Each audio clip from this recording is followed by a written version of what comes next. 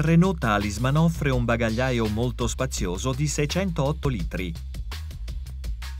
I sedili unici posteriori si ripiegano in due sezioni, aumentando il volume e la lunghezza di carico trasportabile.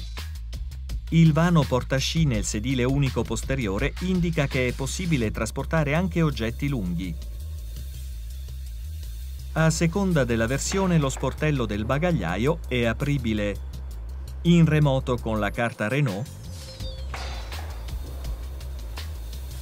con il pulsante sullo sportello del bagagliaio, oppure è possibile utilizzare la funzione di accesso facilitato. Questa funzione indica che è possibile aprire lo sportello del bagagliaio quando si hanno le mani impegnate. Con la carta Renault indosso e il contatto disinserito eseguire un movimento ininterrotto dalla parte anteriore verso la parte posteriore all'interno dell'area di rilevamento.